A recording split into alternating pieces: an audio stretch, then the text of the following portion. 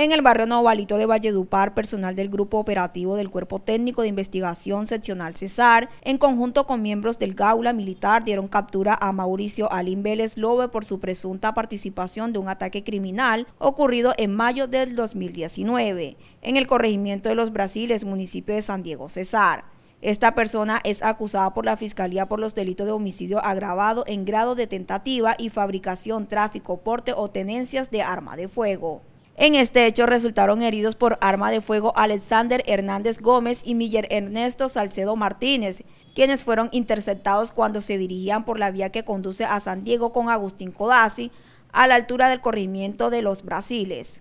Los mencionados fueron sorprendidos por un carro Mazda de placa 626 Coupé, desde donde le dispararon y los obligaron a detenerse, generándose un intercambio de disparos. Hernández Gómez huyó hacia un potrero para resguardarse, pero es herido en la pierna y brazo izquierdo, mientras que Salcedo Martínez presenta heridas en el tórax y abdomen. Se determinó que Hernández Gómez presenta siete anotaciones judiciales en calidad de indiciado por delitos como concierto para delinquir agravado, homicidio, amenazas, hurto calificado, entre otros. En las últimas horas se desarrollarían las audiencias concentradas de legalización de captura, imputación de cargo y solicitud de medida de aseguramiento para el capturado.